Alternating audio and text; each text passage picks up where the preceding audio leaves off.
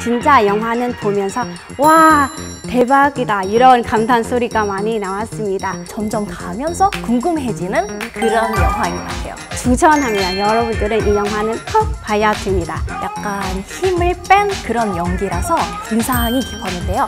지금까지 머리 안에 아직 그 리듬을 생생합니다. 조금 스포가 될 수 있지만 왠지 너무 그냥 인상이 깊었어요.